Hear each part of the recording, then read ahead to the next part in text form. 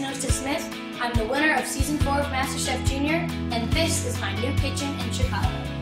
Different people come over to my house for lunches and dinners, and I like to be well prepared. Since we got the new kitchen, my favorite thing is probably my BlueStar range. It has super high even cooking with 22,000 BTUs, and there's a big oven because I love to bake also.